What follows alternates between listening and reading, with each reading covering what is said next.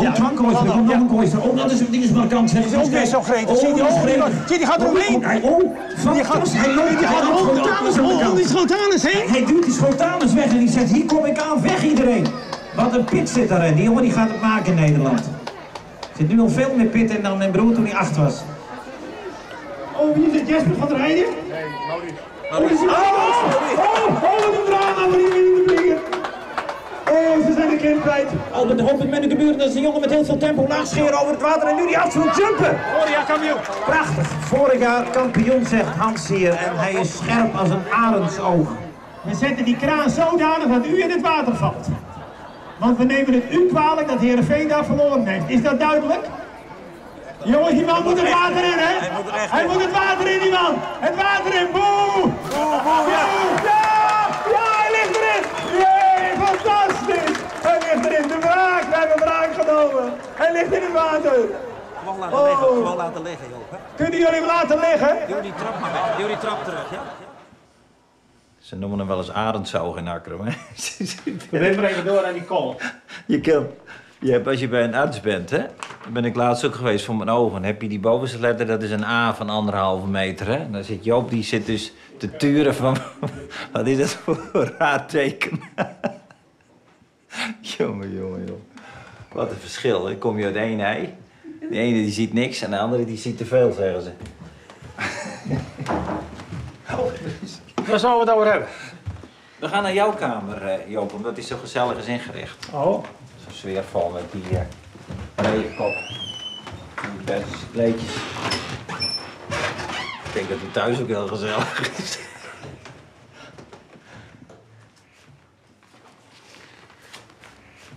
Nieuw dossiertje. Op zich aardige kwestie. Eh, Brigitte Roodveld, jou bekend, uit Alkmaar belt, heeft een cliënt verdacht van een zedendelict. Ik denk dat jij ook wel iets van hem of van hen weet, want hij heeft ook een een-eigen tweelingbroer. ja, dat heb ik gelezen in, in, in, in, in, in ik, de meen, krant. in- ik meen in de Telegraaf eens Ja. een keer een hele pagina. Die hebben we toen nog op het prikbord gehad. Ja, want zolang ze natuurlijk eh, niet op hete daad betrapt worden, dan heeft een één-eigen tweeling altijd wel een streepje voor. Want je hebt altijd iemand waar je naar kunt wijzen. En eh één eigen tweeling schijnt ook hetzelfde DNA te hebben. Dus dan, eh, dan wordt het lastig. Men noemt het een zedenzaak, maar eh, niet al te ernstig, niet al te zwaar. Maar die heeft gekregen van de rechtbank in Amsterdam anderhalf jaar in TBS met dwangverpleging. Jij zegt niet al te zwaar, niet al te ernstig. Maar er zijn in ieder geval drie rechters die daar anders over geoordeeld hebben. Ja, Dat is een hele pittige straf plus, plus Ja. een maatregel. Dus die, die, dan ben je zo tien jaar uit de samenleving. Op zich wel een interessante materie om die TBS met dwang eraf te krijgen. Inderdaad, eh, zijn er financiële middelen of... eh, Weinig. Eh, dus het zal wel prodeo-vergoeding moeten maar worden. het is Nou, ook niet altijd even makkelijk om met twee advocaten van twee verschillende kantoren in een zaak te zitten. En waarbij dan ook nog de uren worden meegerekend door de Raad van Rechtsbijstand. Dus dat aspect zullen jullie van tevoren nog Ja. wel even goed moeten bekijken. Ja, want dan moet je in feite een eh prodeo-bedrag, hè, dat noemen wij hier op kantoor een fooi, moet je ook nog delen. Ja, precies. En als ik het dossier zo zie, dan ben ik daar ook niet in Nee, een precies, uurtje vijf eh, door.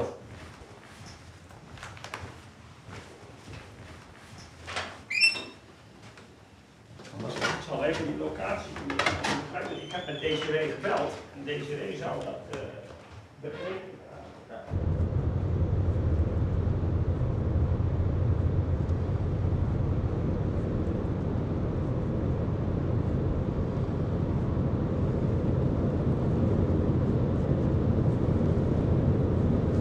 Maar ik had het vanaf moment één. Vanaf moment één in deze zaak had ik het gevoel... dat vonnis klopt niet. Gevangenisstraf is te hoog en die TBS met dwangverpleging is volstrekt niet op zijn plaats. Want Brigitte die, eh, had die uitspraak dus gekregen en ja, die dacht bij zichzelf, wat moet ik nu? Nou, wij werken wel vaker samen. Dat, toen heeft zij gezegd van, wil jij eens meekijken en kunnen we die zaak ook samen doen? Nou, ik heb die stukken van haar gekregen en ik had ze gelezen en toen dacht ik, hoe is dit mogelijk?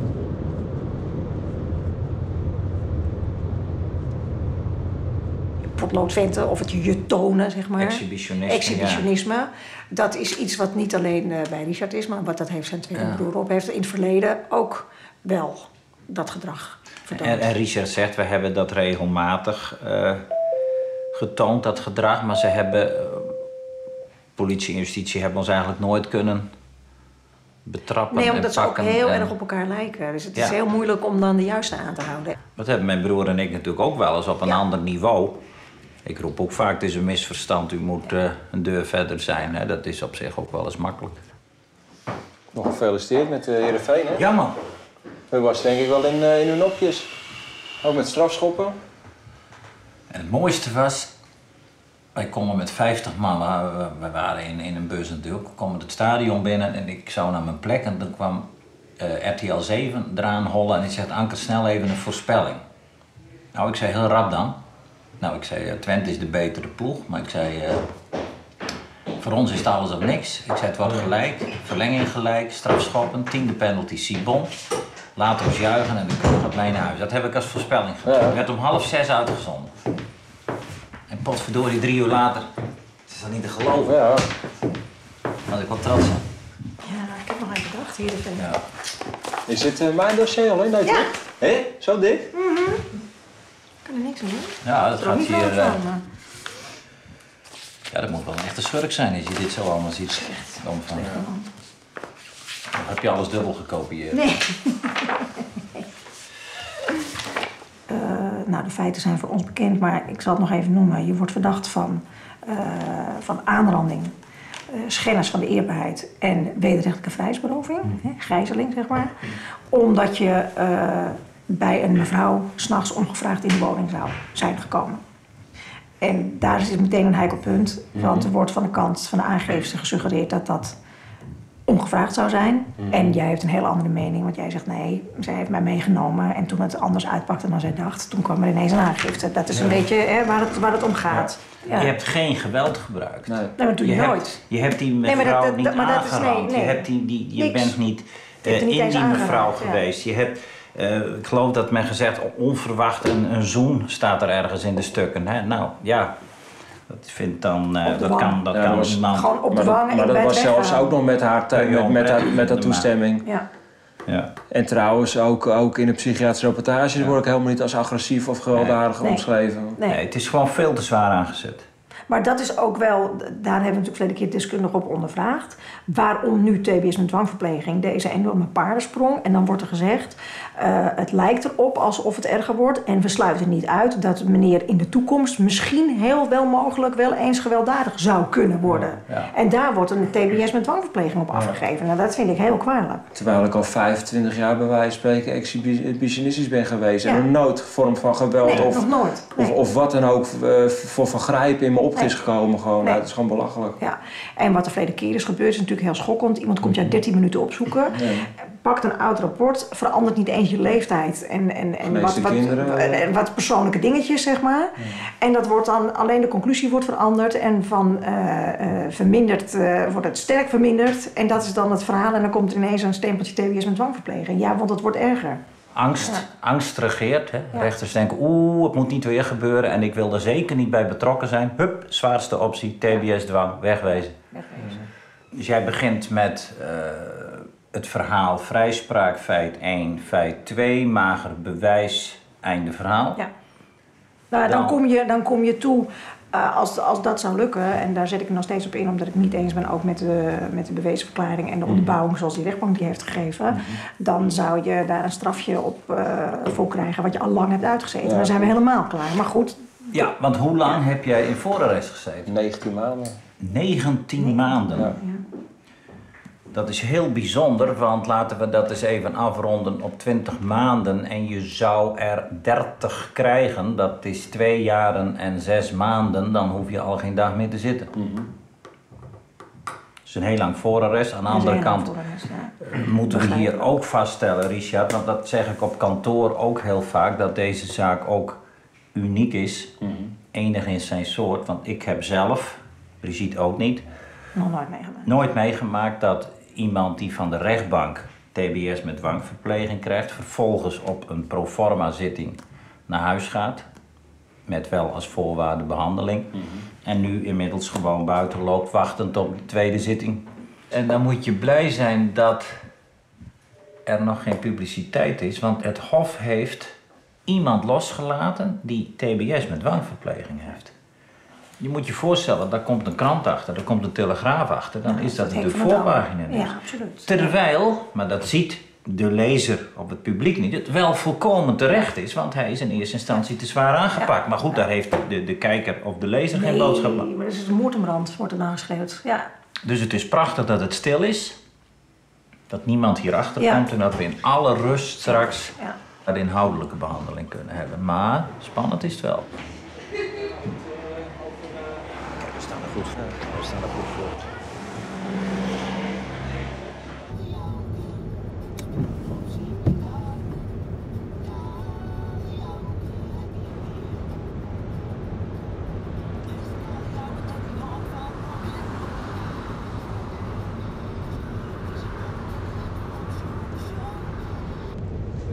Het is een oud tramstation. Het is een geweldig café.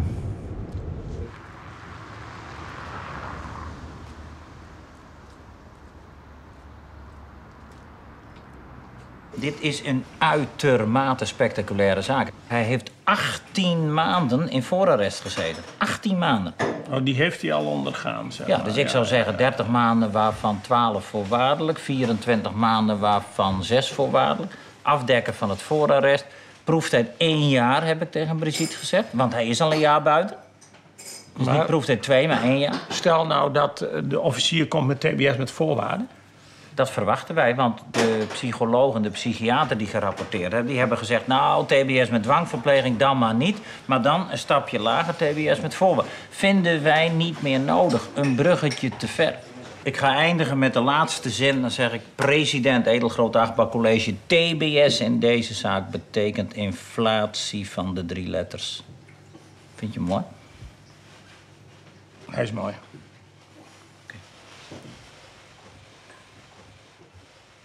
Nou, dat is wel heel wat dat dat, eh, dat dat uit zijn mond komt. Het enthousiasme kraait eraf, hè? Dus kijk, zit hij te jubelen naast me.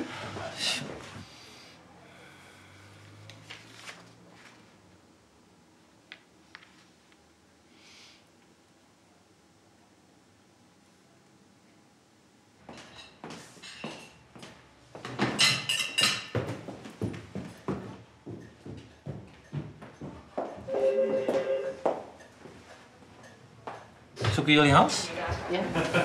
Die man van die grote zaken. jongen, jongen, jongen.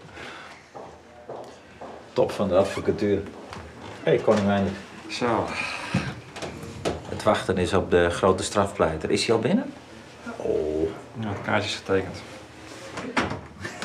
Hey, joh. Ziet er goed uit. Ja, dankjewel. Mag ik altijd heel graag eh, horen. Ik van de rechtbank. Zal ik even met je meelopen? Gezellig.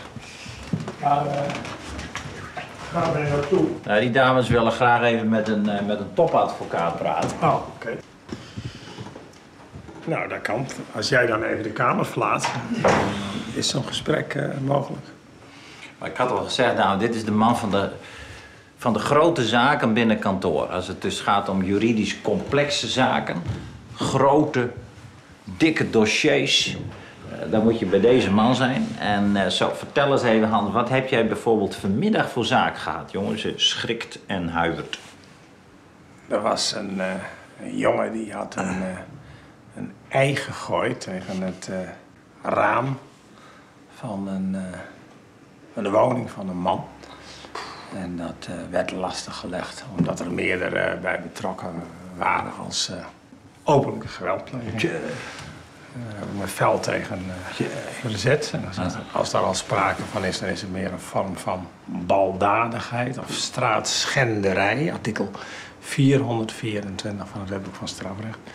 Maar ik wilde de zaak uit het eh, OM-circuit eh, halen. Het was een jeugdige en dat is gelukt. Het wordt nou eh, afgedaan in een halte Dat is alweer een succes, project hè? dus door de politie. Met een, eh, Weer een succes. ja, daar ben ik heel blij mee. Mensen, Maar dan zit je 30 jaar in het vak en dan, waren daar heel tevreden. dan heb je een zaak, dan komt er een jongen bij en die gooit een ei tegen Ja. de ruis van een boze buurman. Dan heb je wel wat bereikt in je Ja, carrière, hè? het ei leek wat op jouw hoofd. Ja. Maar het was ook niet, niet een struisvogelei, want dan Nee, kan ik me voorstellen dat je zaak hebt. Nee, een kippen-ei. Ik heb een ei. Inclusief tussen en. Ja. Ja. Maar, dat, eh, maar het gaat dus goed met de ja, nee, het praktijk. gaat, heel goed.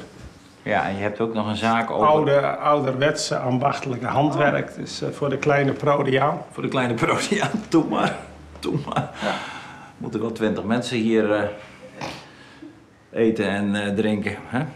Geld- Jij zegt, altijd dat je, jij zegt altijd dat je sociaal gezegd hebt. Oh ja. ik moet het doen. Sociaal gezet.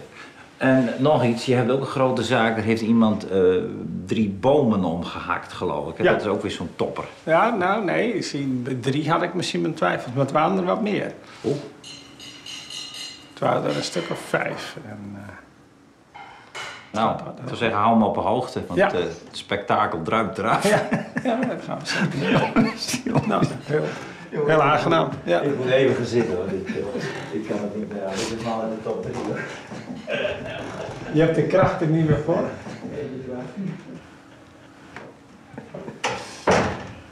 Nou, dit is mijn kamer.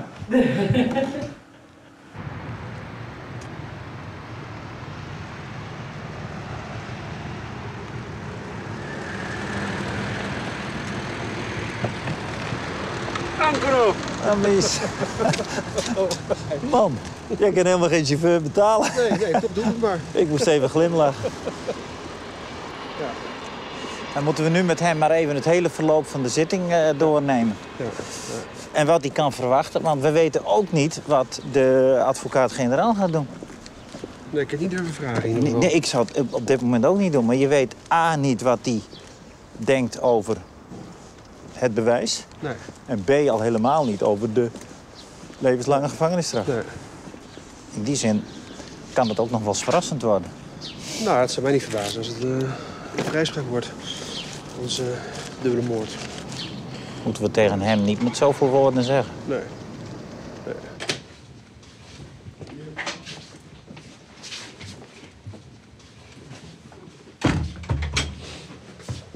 Zo, goedemorgen. Het? Hoor je mij? Ga je mij horen? Ja. Hoe voel je? Ja? Oké, zometeen is de eerste vraag van de voorzitter. Dat is altijd zo, dat staat in de wet. Waarom ben je in hoger beroep gekomen? Dan zeg je één ding. Ik heb absoluut niets te maken met die moord op die twee Brazilianen. Duidelijk? Dat is het enige wat je moet zeggen. Heb je nog vragen? Het wordt een eh, belangrijke en spannende dagen. En ik herhaal ook nog even, dat heb ik met, met Geert-Jan ook nog even doorgesproken. Hè.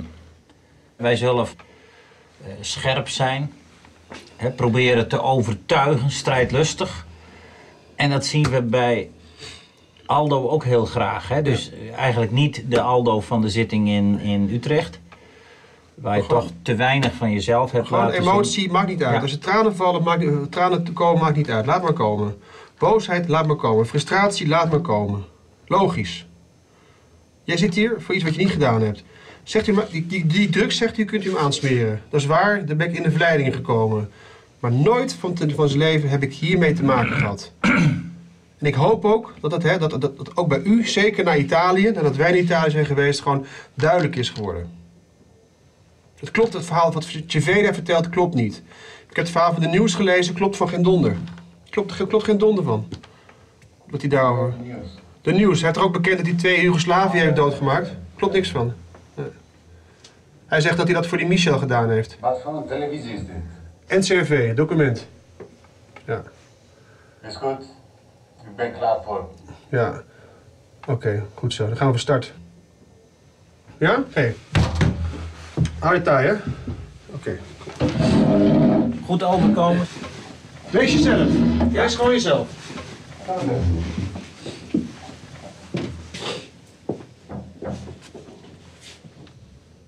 Ons bewijsstrategie is dus heel anders dan die van de vorige advocaat. Ja, Want die heeft de persoon niet belicht. Nee. En jij zegt van na alle gesprekken die we nu gehad hebben, we moeten meer accent, meer nadruk leggen op de man. Nou, ja, Hoe, hoe komt die over? kijk, Want als je niks zegt, krijgen die rechters ook totaal geen indruk. nee.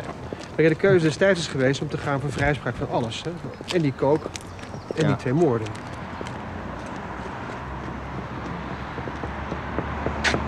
Kan niet mee dat jongen. Wat ik ook cruciaal vind, en dat kun jij misschien aanstippen, maar dat zou ook wel in mijn verhaal kunnen passen, dat enige bewijsmiddel, laten we maar zeggen het, het, het belangrijkste bewijsmiddel, misschien wel het enige bewijsmiddel waar hij op vastzit, is een verklaring van een man die 16 moorden bekent. Misschien wel 20, want hij was de tel kwijt, hè? Ja, bewaar het sterkste deel voor het laatst. Zo moet je, je moet in je pleidooi het opbouwen hebben, hè? Maar die rechters zitten daar uren te luisteren. En dan- Dat is de vorige keer. Kijk, en dan Ja. begin jij en dan gaan we de climax opbouwen en dan kom ik aan de hand. Huppakee. Top denk ik nog steeds weer dat het toch aan jou gelegen heeft dat het levenslang geworden is. Ja, nou, ik, eh, ik hoop dat het tweede huwelijk net zo'n succes wordt als het eerste. Meneer de president, Edelgroot Dagbaar College. Op grond van onderstaande punten ben ik van mening dat in deze zaak geen levenslange gevangenisstraf moet worden opgelegd. Punt. Ik wijs hiervoor op de volgende twaalf feiten en omstandigheden. Punt. Nieuwe linia. 1. In Nederland is anders dan vaak gedacht wordt, komma, levenslang ook daadwerkelijk levenslang. Punt. De straf eindigt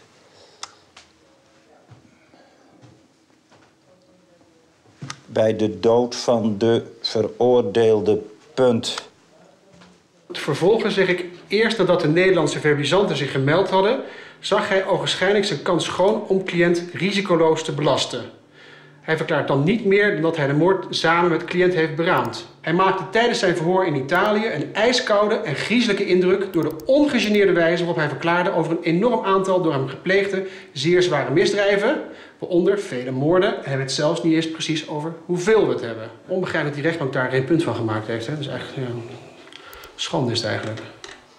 Luiheid. Vooringenomenheid zou je bijna gaan denken. Dat mag ik niet denken, maar... Cross my mind. Ook de leeftijd van de veroordeelde speelt een rol als het gaat om de levenslange gevangenisstraf.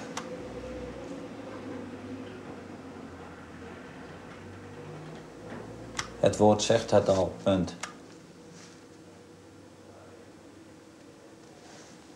Cliënt is op dit moment 47 jaar, punt. Dit kan, komma, indien uw hof besluit tot een levenslange gevangenisstraf, komma, betekenen dat hij nog zo'n 30 à 40 jaar in detentie zal moeten doorbrengen, punt.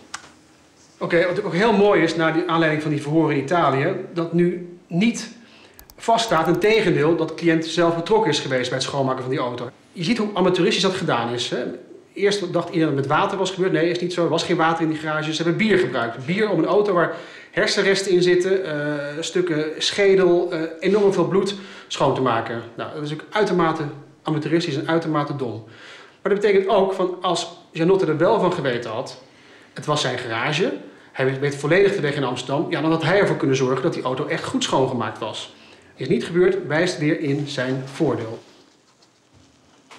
Alles overwegende, gelet op de feiten en omstandigheden in deze zaak, ben ik van mening dat de ultieme sanctie levenslang niet passend is in deze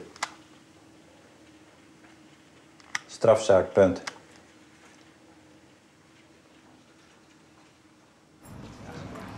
Wie eh, sluit af? Wie heeft een eh, sleutel van het pand bij zich?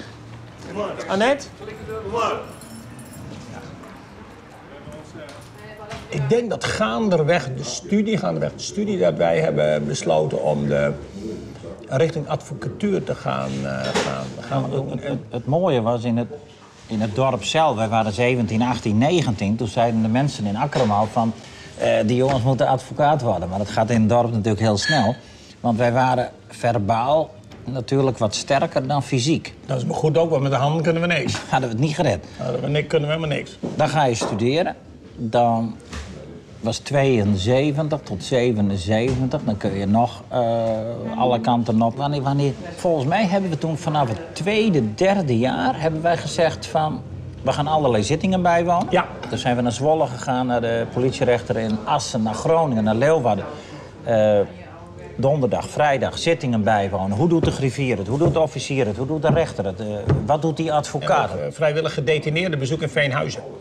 Ja, en ik heb laatst... Daar eh gedetineerd, ja.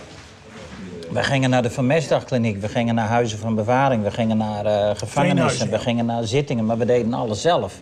En ik heb laatst van een professor, professor Boon, die gaf toen Ja. burgerlijk procesrecht. Procesrecht, ja. Heb ik laatst weer ontmoet en die zegt van, altijd weer dat beeld. Altijd weer die twee kale mannetjes op de eerste rij, je weet het nog? Ja. Jo, en altijd die vinger omhoog. Fanatiek. We zitten nu 30 jaar samen in de branding. Vol in de praktijk. Van 's ochtends 7 tot 's avonds heel laat. Eh, twee lezingen in de week. Werkweken van 60, 70, soms meer uren. We zijn 56. En dan denk ik wel eens van... We moeten gas terugnemen. Eh, er moet een dag af. Eh, we moeten een bepaald moment gewoon zeggen stop. Dan blijft het misschien manker en anker. Maar wij moeten ook realistisch zijn. We hebben klappen gehad, fysiek. Jij hebt fysiek klappen gehad. Ik heb eh, mentaal klappen gehad. Dus ik zeg een bepaald moment van... We moeten hier een streep trekken en zeggen stop. Ja, ik, ik, ik, denk daar nog zeker niet, niet aan. Ik was laatst ook nog even bij de dokter, maar, eh, bij de huisarts. Maar eh, die had meer klachten dan ik. Ja. Dus wat dat betreft valt het allemaal nog wel mee. Ik eh, moet even naar het toilet. Hebben jullie ook het toilet, Jan, eh, hier?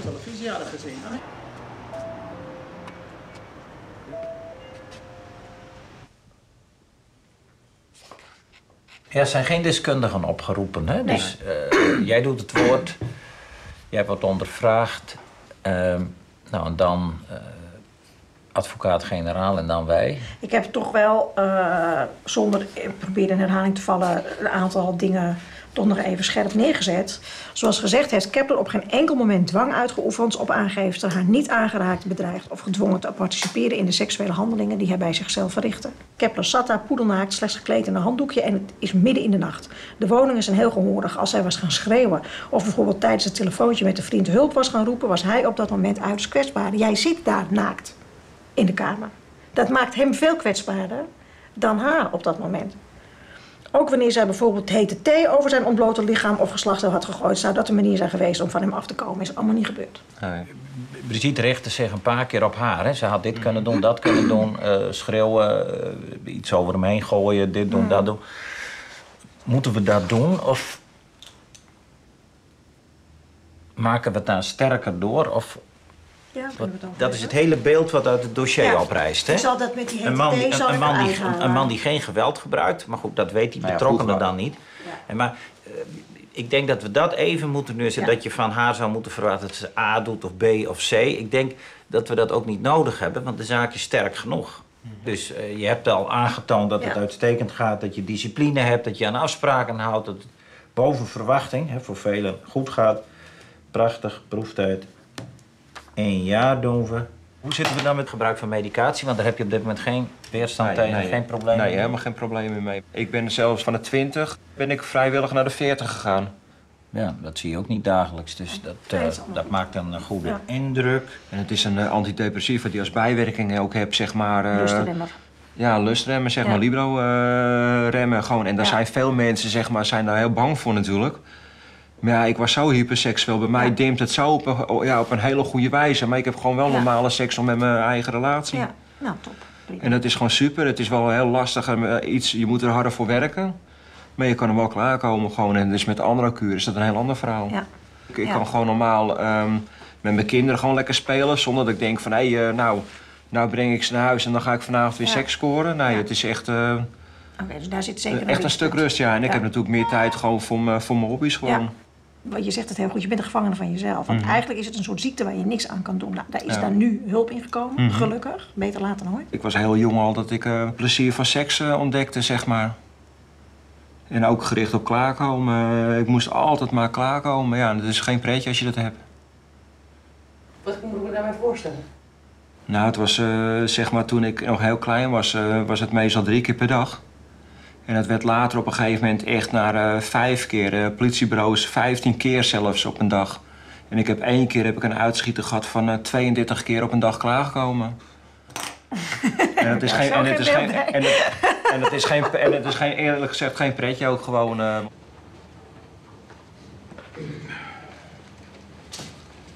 Daar plaatsen.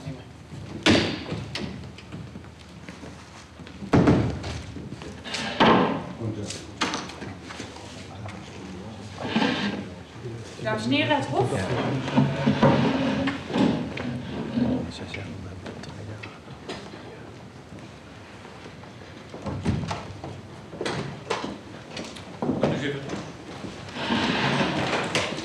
In deze zaak zijn in koele bloeden twee mensen vermoord, omdat verdachten en anderen de drugs die in Nederland waren binnengebracht zelf wilden houden en niet wilden betalen. Verdachte hield in de dagen voorafgaand aan de moorden uitgebreid telefonisch contact met de Brazilianen en heeft ze zo in een dodelijke val gelokt. Volgens de rechtbank rechtvaardigt de volstrekte onverschilligheid en de gewetenloosheid van zijn handelen een levenslange gevangenisstraf. Hij heeft ook willens en wetens gedurende lange tijd banden onderhouden met de maffia en een onmisbare speelfunctie in de internationale drugshandel vervuld. Eén ding is duidelijk. Kleert is geen onbeschreven blad.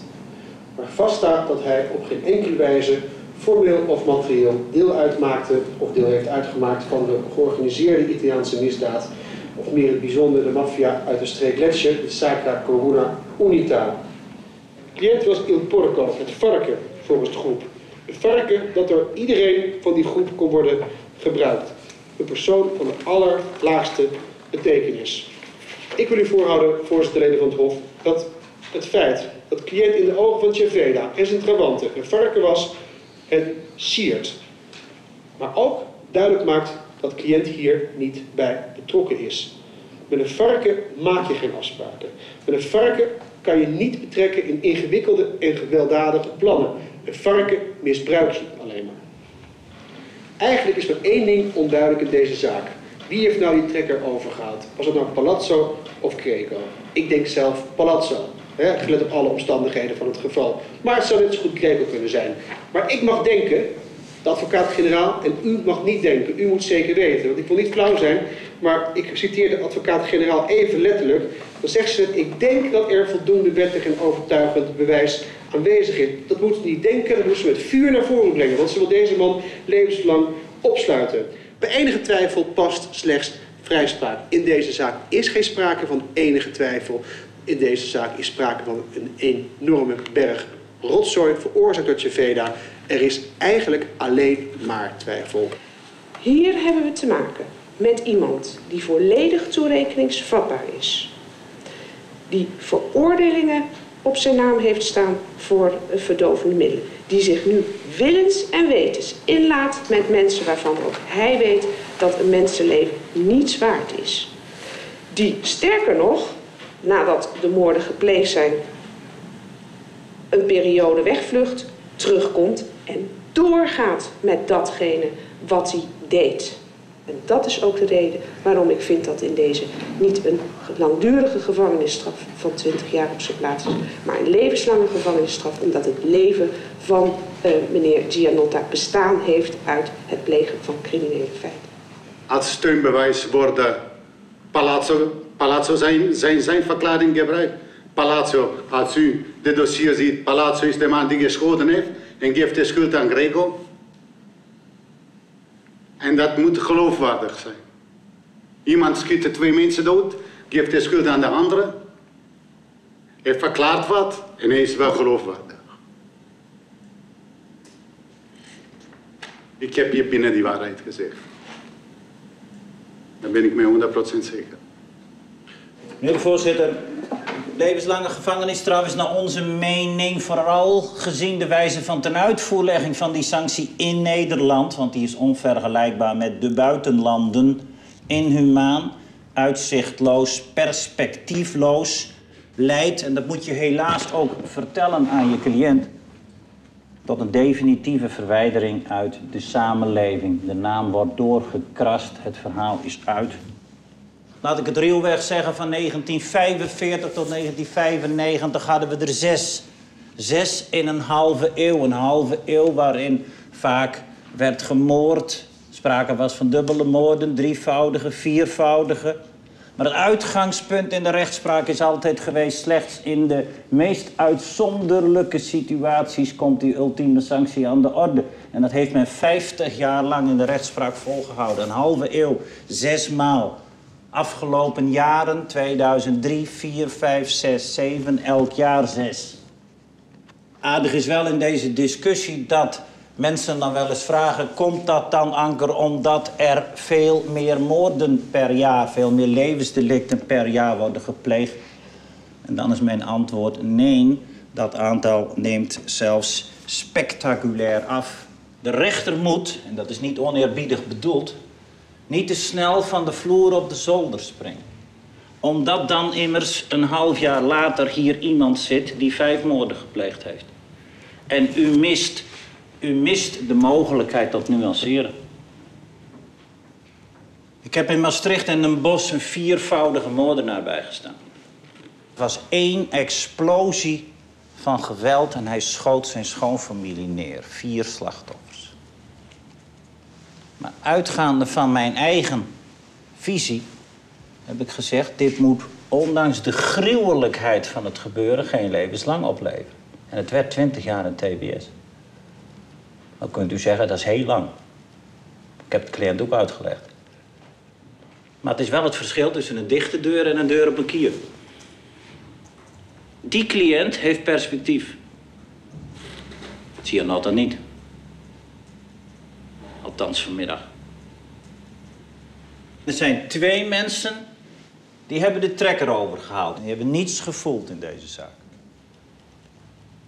Is er één man die er in elk geval niet bij was?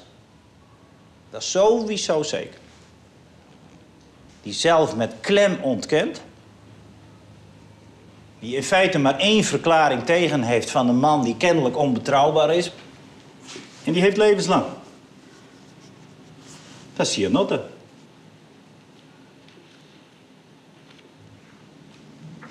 Van Oost en ik zitten en staan hier maar voor één belangrijk punt. Dat is vrijspraak. Bij enige twijfel. Niets voor die dubbele moord. Alleen als het vaststaat. Het staat niet vast.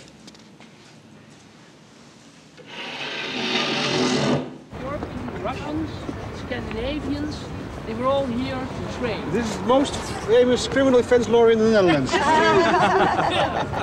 Anger, the one and only. Fantastic.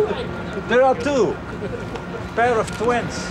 Yeah, and they're famous. Yeah. yeah. Oh, what is beautiful. They make two of it. He drinks too much.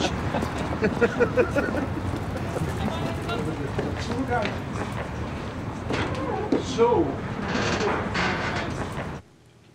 250 rechten studenten en dat is op een zaterdag. Nou, Die eh, wijzen we af. dat dacht ik al. Ja. Want als we die weekenden ook nog helemaal gaan volstoppen, dan eh, zijn we niet goed eh, bezig. Ja, de vlag hangt al niet altijd uit thuis. Hè? Nee, niet altijd. Dat is een verschijnsel dat we kennen. Zondagmiddag 20 december. Dat is ook weer in het weekend. Ja. Debatcyclus Syna- Stichting Synagoge Enschede. De sprekers hiervoor waren burgemeester Cohen, mevrouw van der Hoeven, minister van Economische Zaken. Het lijkt mij wel wat. Het levert toch eh bedrag tussen 2 en 3000 op. Eh, Daar moet je toch drie prodeo strafzaken voor doen. Schoorsteen moet ook roken. Ja, goed. Nou, hebben we er iets van drie jaar genomen, of vier. Fantastisch, we waren in een milde bui. Dank u zeer voor het overleg. Tot is weinig, maar wel geen beeld. Meneer de voorzitter, leden van het Hof. Het is 5 juni 2007, midden in de nacht, een uur of twee. Verdachte, 39 jaar oud toen, reed met zijn auto en zag dat Daisy wat slingerend op haar fiets reed. Hij reed haar achterna, haalde haar in en parkeerde zijn auto. Hij kleedde zich vervolgens naast de auto uit en deed een handdoek om. En toen Daisy de portiek inliep, ging de deur automatisch dicht, maar kon hij nog net op tijd naar binnen glippen. Ze ziet een naakte man staan met alleen een handdoek. Ze schrok zich rot. Vast staat in elk geval, u begon daar ook al mee ten tijde van de aanvang van de behandeling, dat verdachte vervolgens geruime tijd samen met Daisy in haar woning op de derde etage is geweest, ongeveer 2,5 uur. Vast staat ook dat hij zijn geslachtsdeel heeft getoond in die woning, zichzelf heeft betast, afgetrokken en bevredigd en diverse seksueel getinte opmerkingen heeft gemaakt in de richting van Daisy. Ik eis dan ook de gevangenisstraf zoals die in eerste aanleg is geëist voor alle feiten, in totaal 18 maanden gevangenisstraf onvoorwaardelijk met aftrek van voorarrest. Een ter beschikkingstelling onder voorwaarden en die dan voor de aanranding en de wederrechtelijke vrijheidsberoving. Dank u. U erkent dat u daar was zonder kleren met een handel. Ja? En dat u ook nog gewapend was met een flesje olie en twee condooms. Ook. Ehm, u erkent ook dat u hebt gezeten op het stoeltje aan de tafel, aan de kant van de deur. En dat u op een gegeven moment bent gaan staan en u tweemaal hebt afgetrokken. Oké.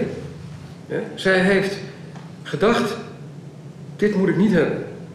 Ik ben doodsbenauwd.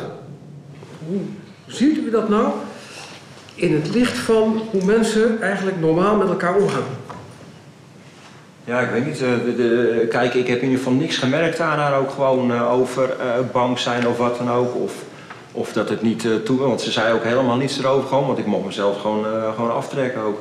Maar daarvoor speelden natuurlijk al een hele hoop dingen af. Natuurlijk dat ze al muziek op had. Ze had thee hadden gedronken. De lichtingen uit kaarsjes werden aangestoken. Ja, dat geeft toch geen indruk ook voor dat je er dan niet van gediend bent ook. En na 40 minuten of zo ging het in één keer over de intieme dingen zeg maar, in het leven ook. En waarom ik zo eh, gekleed was ook. Kijk, eh, voor mij was het natuurlijk al bekend, maar dat wist zij natuurlijk niet dat ik hyperseksueel ben. En eh, ja, dan ben je natuurlijk al heel snel opgewonden. Vooral als het over seks gaat natuurlijk. Ze zegt, ik wilde maar één ding en dat is hem aan de praat houden, zodat hij niet met zichzelf bezig ging. En ze zegt, ik wilde maar één ding en dat is hem aan de andere kant van de tafel houden. Ja goed, dat is haar verklaring ja. En dat is eh, in, toch wel in tegenstrijd met de waarheid. Nee. Op een paar punten. niet tegenstrijdig. Het zou kunnen zijn dat zij dus expres die opstelling gekozen heeft. Hè, omdat zij, zij kent u niet, zij weet niet wat zij eh, van u te verwachten heeft. Zij zegt natuurlijk ook eh, bijvoorbeeld al stellig twee keer dat, zij, dat ik nooit achter in de woning ben geweest. Ja, en dat is toch wel iets wat wel waar is gewoon. En ik bedoel, ja, dan, is- dan is het al een tegenstrijdigheden. Ja, en in hoeverre kunnen we dan uitgaan van de betrouwbaarheid van haar eh, verklaring? Na het klaarkomen ben ik nog eh, dik een uur bij haar geweest ook gewoon. Dan kreeg ik zelfs nog een ijsje ook gewoon. Ik bedoel, want toen zei ik al eerder al na het klaarkomen dat ik weg wilde. Maar toen, toen, toen hoefde ik nu helemaal niet weg ook gewoon. Want dat zei ze ook gewoon, wil je nog ijs ook gewoon. Ja, u mocht zich aftrekken.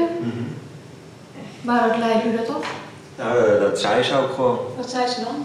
Nou ja, gewoon, tenminste, ik mocht niet klaarkomen op de grond in ieder geval, maar wel gewoon, ja, dan op mijn handdoek gewoon. Ja, maar wat zei ze dan? Ja, weet ik veel, dat weet ik toch niet meer. Het is al, eh, al hoe lang is het geleden? Deze Richard Kepler is nu 13 maanden in de vrije samenleving. En dat had wellicht niet een ieder verwacht, maar hij functioneert op vrijwel alle terreinen uitstekend.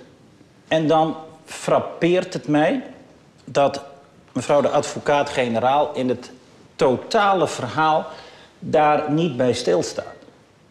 Meneer de voorzitter, ik vind het ook onlogisch. Richard Kepler zit 18 maanden vast. Richard Kepler is daar na 13 maanden volledig in de vrije samenleving. Moet zich alleen aan de behandeling houden. En dan zou u zeggen over 14 dagen: En nu, meneer Kepler, nou bent u 13 maanden buiten geweest. Het gaat prachtig. En nu gaat u de TBS met voorwaarden in. Ik zou dat zelf, maar ik ben advocaat, moeilijk verdedigbaar achten. Als er hier iemand in de zaal is die beseft welke risico's hij loopt en hoeveel hij te verliezen heeft, is het deze Kepler. Eén incident, einde verhaal. Vrouw, kinderen, vult u het allemaal maar in. Bullen stelt sprake van grote inzet. Trouw volgt die. De behandelafspraken. Er is inmiddels een delictscenario opgesteld. En dat vind ik ook markant. Wat zegt professor Bullens, toch een autoriteit? De recidive kans lijkt op dit moment gering. De ambulante behandeling, 18 maanden van zijn tweelingbroer, heeft tot goede resultaten geleid. Dat hebt u gezien. En nou ben ik een ervaringsdeskundige. En ik besef ook dat, hoewel je uit één ei komt, dat je niet helemaal identiek hoeft te zijn. Maar het is wel een mooi voorbeeld. 18 maanden behandeld. Het gaat goed. Dat is uw broer. Eindelijk heb ik het door. Het is toch goed dat ik daar even op wees, meneer de voorzitter. Ik had het gewoon niet gezien. Nu Ja. opeens zie ik het. Ja. Opleggen van TBS in deze zaak voor deze feiten leidt naar mijn mening tot inflatie van het begrip TBS. TBS met dwang is twee bruggen te ver. TBS met voorwaarden is zeker één brug te ver, want er is een heel redelijk en adequaat alternatief. Meneer de voorzitter, die combinatie die wij voorstellen, een deels voorwaardelijke gevangenisstraf, proeftijd, voorwaarden, is realistisch. En als u dat zou volgen, dan wordt deze zaak, die door het OM zwaar is opgetuigd, teruggebracht tot normale proporties. Dank u wel. Dag Welke. Mevrouw Rootveld.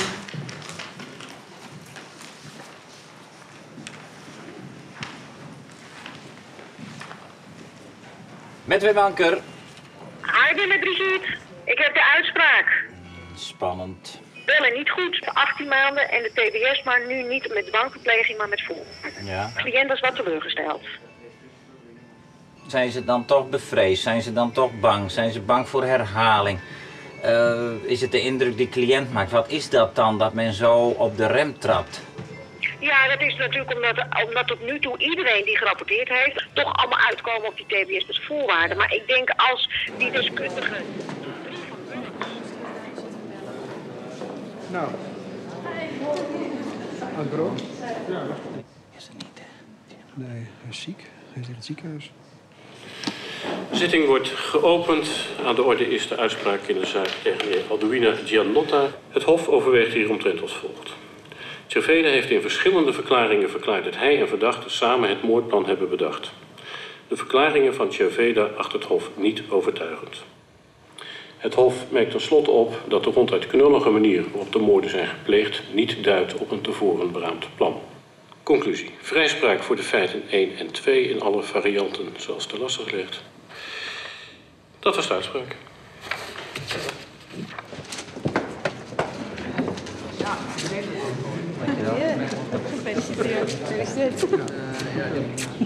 Gefeliciteerd.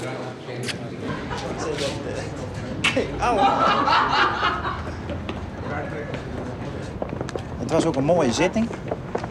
Mooie zitting, mooi proces. Is het vrijspraak geworden? Ja. Van levenslang naar vrijspraak. Levenslange vrijspraak. Sjoerd, gaan we doen? Oh, ja, de dop, je grap. Ja. Alleen maar borrel van het huis. Dankjewel. Eentje van het huis, fantastisch. Ja. Gertje van Oosten. Aldo, jongen, gefeliciteerd. Je bent vrijgesproken. Van de moorden, ja. Zeven jaar, dus eh, over een maand ben je vrij. Man, man. Zo? Hoezo? Ja. hey broeder, ik heb groot nieuws. Ik heb groot nieuws. Ik zit in de wagen in Arnhem. Ik sta hier naast mijn grote confrère Geert-Jan van Oosten. En het is van levenslang is het geworden nul. Fantastisch, ja, hebben wij ook gezegd. Nee, ik heb, ik, ik, ik heb half mei gaat hij eruit. Ja, ongelooflijk. Dat is goed geformuleerd, Joop. Je bent een jurist. Ongelooflijk. Fantastisch. Fantastisch. Nooit speel je namen nog een protte van het gierlijk woord.